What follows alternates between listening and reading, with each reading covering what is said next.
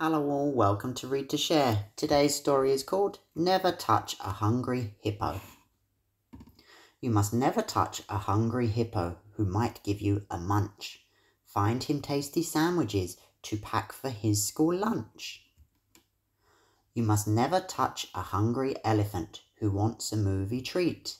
Give her piles of popcorn and she might save you a seat. You must never touch a hungry ostrich who needs energy to run. Make some nice spaghetti and he'll start to have some fun. So never touch this hungry crew whose tummies groan and rumble. Give them party snacks until they're much too full to grumble. The end.